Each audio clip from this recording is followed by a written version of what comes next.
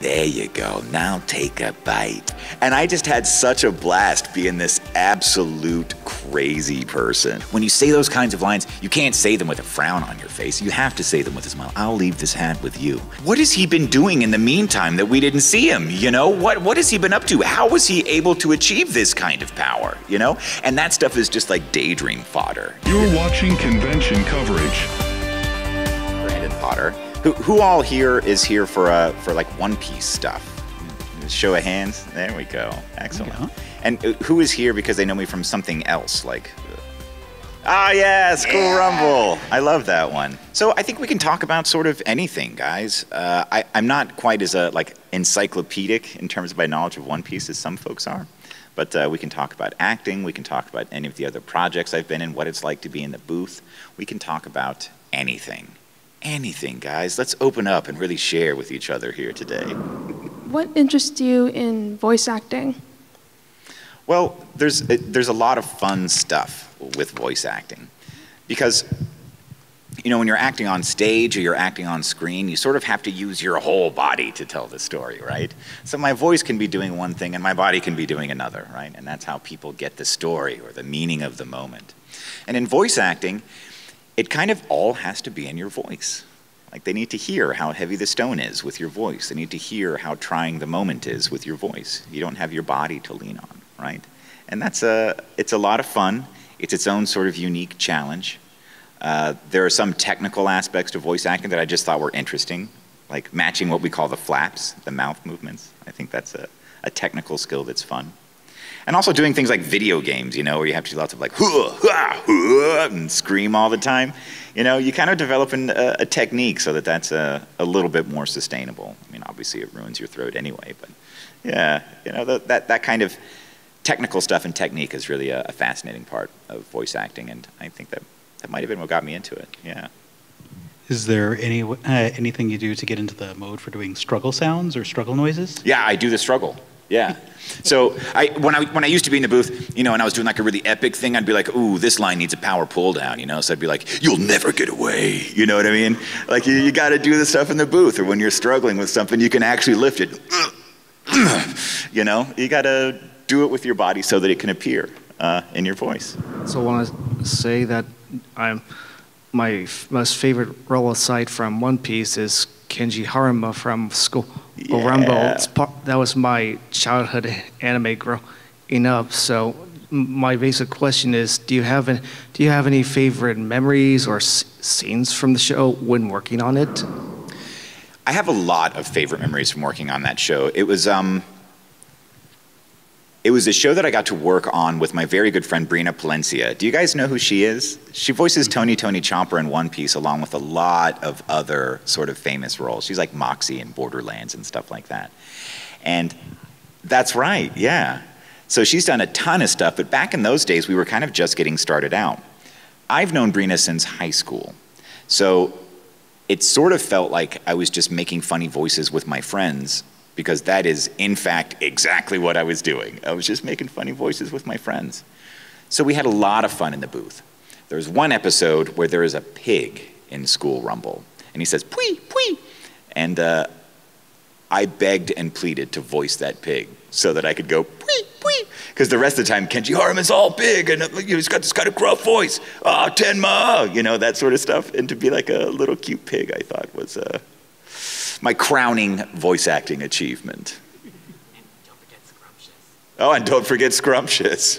right. Yeah, that's right. Yeah, yeah, yeah, yeah. Man, you've got a good memory. What was your like favorite voice acting job thing?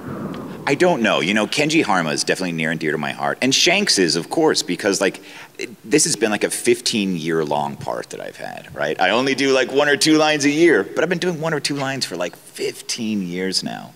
And to see the impact that it's had on people, right? Especially through the I mean, One Piece just sort of, its audience got so big and so passionate, right? That it's hard for that not to be my favorite just because, you know, it hits me right in the feels to see people responding to this work in a really, really positive way. But there's some stuff that's just fun. I, I don't know, if, has, anyone, has, has anyone ever heard of an anime called uh, 91 Days? Uh, it's kind of an obscure one, but I play this guy called Fango, and he's an absolute psychopath. And I had such a good time with him. He like, I'm sorry if there's kids here, but like grinds up his enemies into meat and serves it to the rest of his enemies. Uh, he does all of this horrible stuff and he sort of like laughs about, there you go, now take a bite. You know, that kind of stuff. And I just had such a blast being this absolute crazy person. Uh, so yeah, I think that might be the most fun that I've had, but what means the most is, is probably Shanks. What interests you in the voice acting as Shanks? Well, I think the most interesting thing about Shanks is we know he's this kind person, right? Like he's like this father figure to Luffy, and um, I, I love being that kind person in the booth. It's nice because when you say those kinds of lines, you can't say them with a frown on your face. You have to say them with a smile. I'll leave this hat with you, right? You don't say that with a frown on your face. It's a good thing. But he's also so incredibly powerful and has achieved this sort of station, this rank, you know? I think the most interesting thing about it is what has he been doing in the meantime that we didn't see him? You know, what, what has he been up to? How was he able to achieve this kind of power? You know, and that stuff is just like daydream fodder. You know, you just think, I, I mean, I think about that, you know, like, oh my gosh, what has he been up to? How did he, how did he become a captain? How did he become an emperor? How did he become all of this stuff, you know? Uh, so I love thinking about that and um, injecting that sort of hardcore sternness when he is hardcore and stern because uh, he's got that kind side, but he also will fight, right? He will, in fact, fight. Considering Shanks lost his arm so early on, how much more powerful do you think he'd be if he had both arms still? This is a very good question, and I think that nothing would stop him. I, I don't think it matters. I think that he would have achieved the same sort of power. I think that he would be in the same place that he is in life. I, because like he lost that arm and was so immediately not bitter about it. Like he, I think he knew something. I think he believed in himself. He believed in what he was after, and that having an arm is a nice thing to have, but being able-bodied isn't the chief thing. You know, it's having that uh, strength of soul, right? And he has that. So yeah, that's a good question, and I've definitely thought about it too. So uh, thanks for bringing it up. What do you guys think? Do you think that he would be like somewhere else if he had both of his arms? Nah. How could he be even more powerful than he already is, right? Yeah. Oh yeah, yeah, he definitely does, doesn't he? Well, he's he's definitely got the hat on, you know. what was your favorite part of playing Gunhead? Uh, weirdly enough, my favorite part with Gunhead was kind of the same as Shanks, but goofier, right? Uh, I loved all the battle stuff because he's such a cool character, right? His design is so awesome. Like, I think he actually just looks like a cool character. The design is great. But then to have all those like teachy mentor moments where he's so like, I don't know if tender's the right word, but like caring and considerate. Getting to do those two things in the booth, I think, uh, are, are, always fascinating to me. Playing two sides of a person are the most fascinating things to me, and Gunhead has that too, in a much goofier way than someone like Shanks does, right? Uh, you had to do uh, at-home voice recording. That's right. Um, and I guess how does that compare? And like, are you able to go back into the booth now, or is it still kind of at-home stuff? Well, it depends. You know, um, so after people figured out how to record at home and do that really well, some studios were like, I don't know, use your home rig. It sounds great, you know, and they don't have to bring anyone in. They don't have to hire an engineer because you're doing the engineering, you know. So, okay, maybe I should back up and start from the beginning. So when we go into a booth, right, there's, a, there's an engineer there that has uh, the controls for the sound recording. He puts the image up on the screen. Uh, he makes uh, the words fit into the flaps if you don't do a good enough job. So that's what engineers do, and they're really talented and they make things go very, very quickly. When it was time for at-home recording, we had to be our own engineers. So I was kind of looking at the screen to try and act. I was looking at the words to know what to say, and then I was also looking at uh, an audio interface to figure out if this was going into the flaps in the correct way. So it was a big challenge uh, to do all of that stuff at once in like a tiny little closet in my case. I was literally setting up uh, sound recording equipment in a closet. Uh, and some studios liked that even after because they didn't have to maintain a studio space anymore because you could just do it on your own. Going back into the booth, I feel like, oh, this is so much easier. Oh, because there's a real live professional taking care of all of the audio recording stuff. So all I have to do now is just act and have fun. So to answer your question, I much prefer going into the studio and having a professional record me instead of me messing up my way through the entire process. Do you feel like that's like built up your your knowledge on how the engineers do their gig, and that that way you understand how to basically deliver the best performances? Uh, yes, but now I know everything that I don't know. you know what I'm saying? Like I could look at what someone's doing in the booth or what someone's doing in the control room and say, I might have a suggestion, but I'm just going to keep that to myself and let the pro do what they're doing. You, you know what I mean? So in a weird way, it made me like a uh, a little bit easier to work with. Yeah, I think that was the point of your question. Yeah, it definitely made me easier to work with. I think. Yeah. What was your reaction to finding out that Shanks would be such a big part of Film Red, um, considering he hasn't really shown up in any of the previous One Piece movies? So, when I found out that One Piece Film Red was going to feature Shanks, uh, I had a few reactions. My first reaction was, hooray, I get to go and play with my friends. Uh, the second reaction was, oh, wait a minute, is One Piece actually entering the end game? You know, because uh, Shanks is kind of this bookend character. You know, if they're bringing him in, that means big stuff is happening.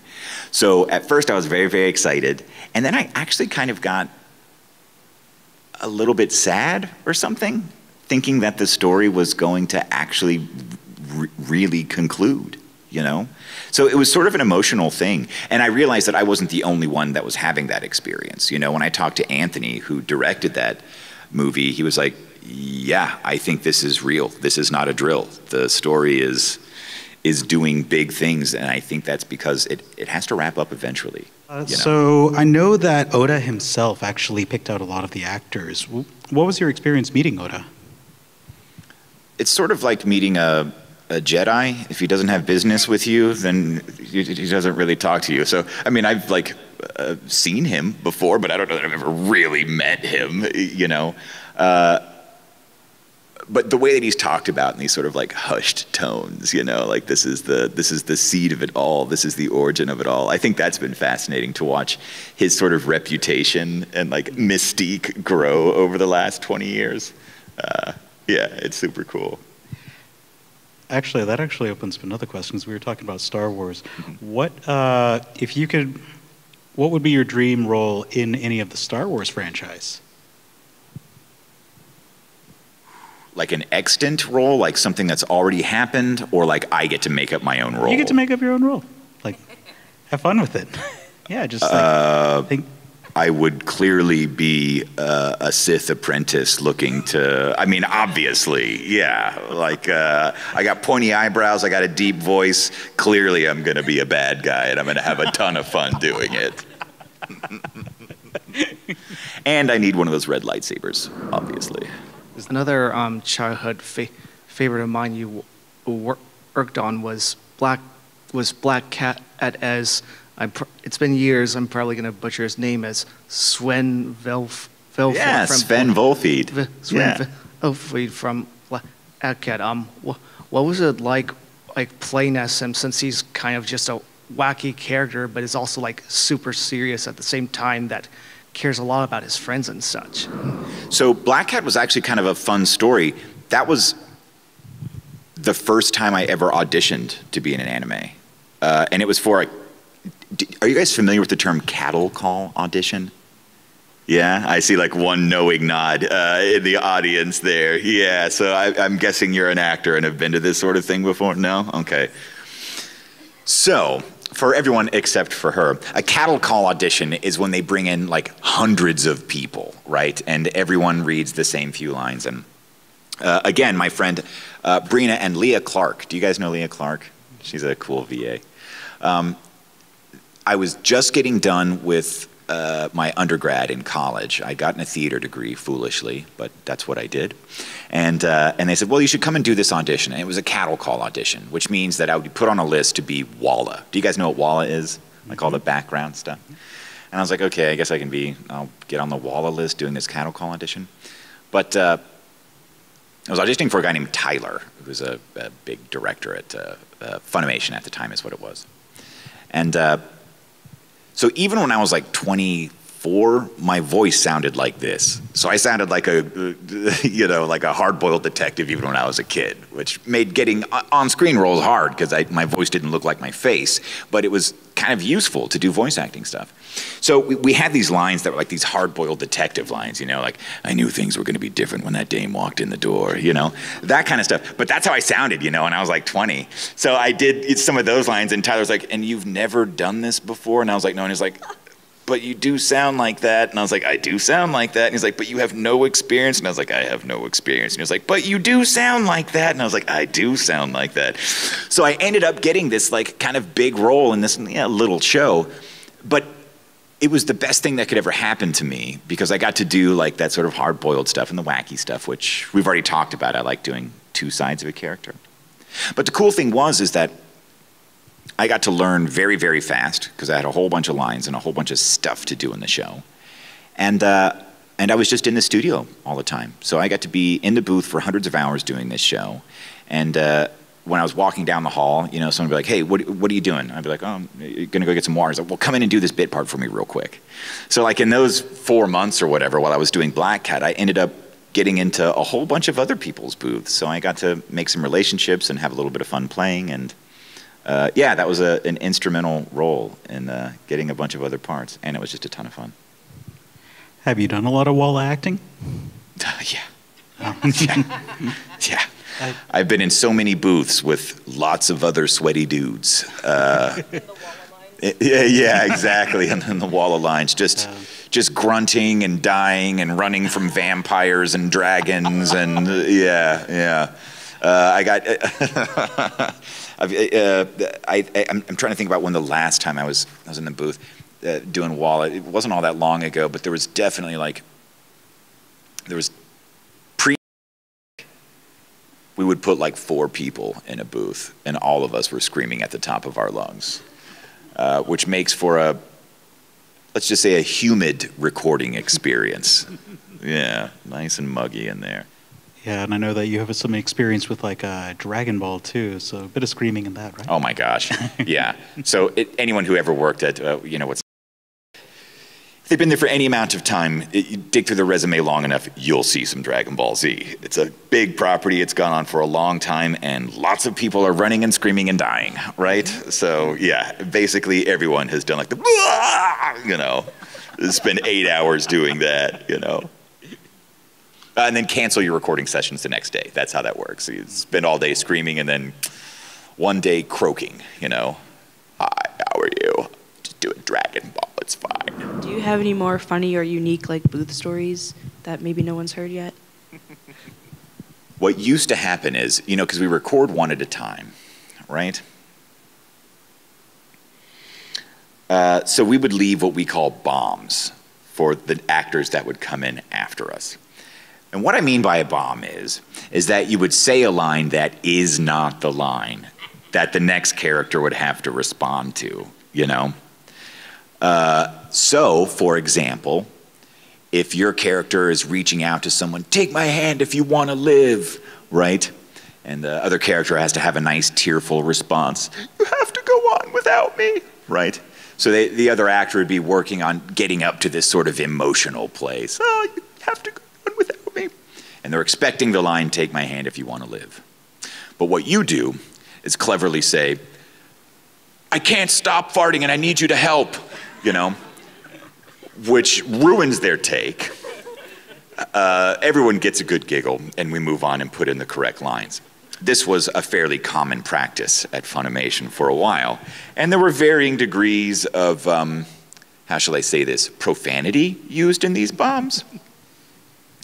But that practice had to be stomped out and eradicated because not once or twice or three times, but like lots of times these bombs made it through to the final mix. Yeah, so when the big boss man sees, uh, I can't stop farting and I need your help, you know, uh, we had to get like memos from the company all the way down to all the engineers to all the actors. You couldn't even so much as say the word bomb in the booth without getting a stern talking to. So yeah, that's a little uh, little peek behind the curtain for you. Just ruining everything. Just ruining everything. It's what we do. What do you think about like Shanks's relationships with other pirates like Buggy or Mihawk? Because we've seen him like talk to these people every now and then, but that's like kind of it. And even with Buggy, like he has this long history with him, and Buggy hates him now. so like, what do you think of that? It's among those things that are like, uh, I, I, I'm excited to see if we get more glimpses into those sorts of relationships, you know, because it is unlikely that he has had a nice, pleasant relationship with all of the other pirates, right? Like there, there has definitely been tussling. Like there's a reason that Buggy hates him, right? It's not just jealousy. So I, I imagine that he is connected with most of them, right? Otherwise, how would he achieve the rank and station that he has? And I imagine that it is not all amiable. I imagine that there's some acrimony, that he's made some enemies. But I would also say this that I, I think that I, I believe in Shanks's essentially good nature. So if he is on another pirate's bad side, it's because Shanks was doing the right thing and they were doing the wrong thing. That's what I think. Well, what do you think of? How do you think Shanks would have reacted to finding out Buggy became spoiler became an emperor? Spoilers. How do you think he would have reacted to that? I don't think he ever would have prepared for that. You know what I mean? But now that that is the case, I think he knows how to. I think he knows how to deal with Buggy. You know what I mean?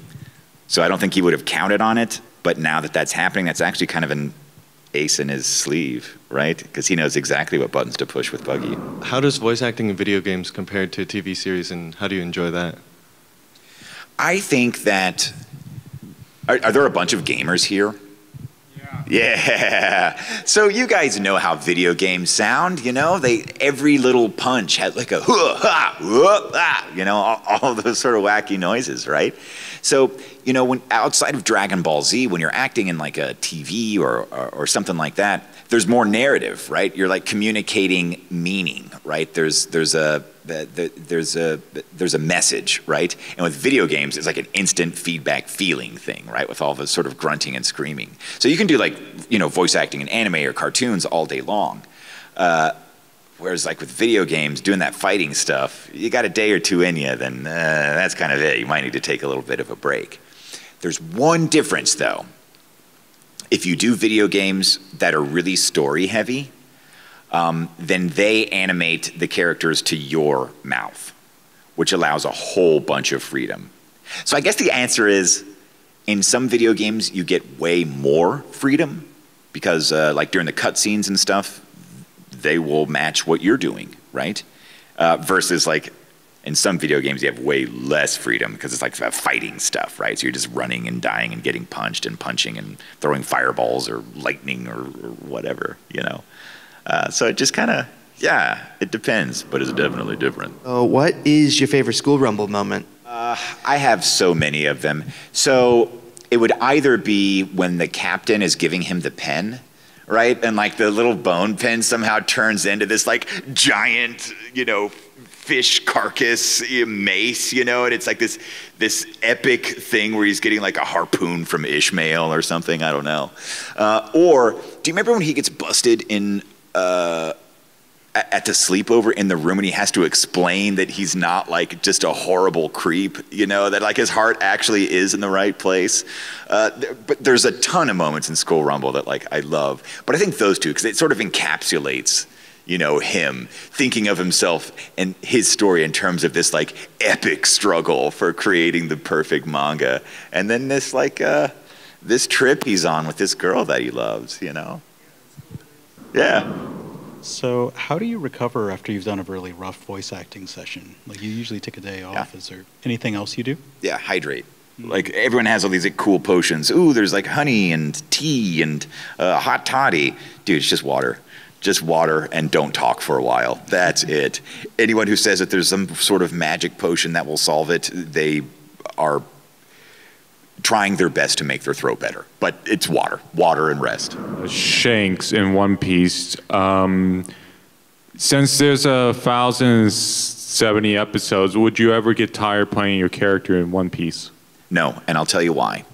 Because the show is so expansive and so big, and it has reached so many people, and it means something to, to so many people. And that's the whole reason to do any of this stuff to begin with, is to like share a story with strangers that we all can sort of talk about and uh, uh, and live through together, right? So I will I will never get tired of of being involved in that experience. Uh, it's a long gig. There's a, you know, I come in once every other year or whatever to do Shank stuff, and it doesn't matter what I'm doing. I will drop it and I will go and record Shanks for that very reason, so that we can do stuff like this. And I don't know, man. Like I see people like parents pass One Piece on to their children, children turn on their parents to it, so it turns into this kind of like multi generational thing. Like, no, I will never get tired of that.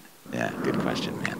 I'm currently watching The Chosen, and I recognized you. Um, do you play Quintus? I do, yeah. Yeah. How was, what was it like playing The Chosen? Because from what I heard, um, I guess like it's not a very big production. It's kind of small. People are just pitching in money to like. What was that like? What was the experience like traveling and like recording with like how it is?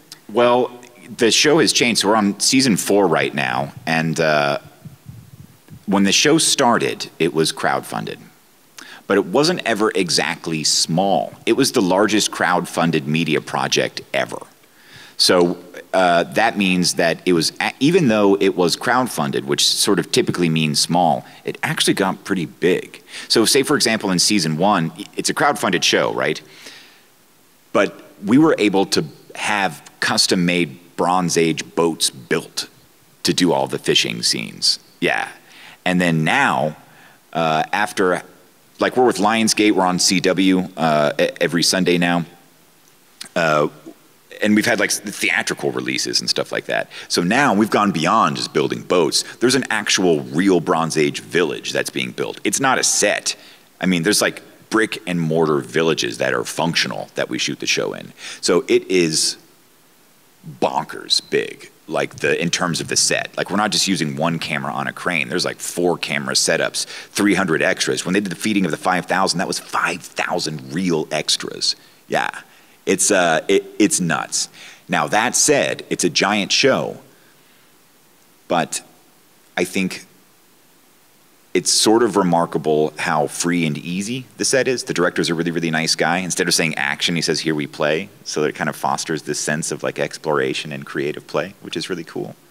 Um, and every season, the ante is upped just a little bit more in terms of production value and what people can bring to it. Yeah, thanks for asking a question about The Chosen. That's really cool. All right, I think that's actually hitting the end of our panel. And anyway, I want you all to give a round of applause for Brandon Potter. Hey, thanks so much for uh, coming and chatting.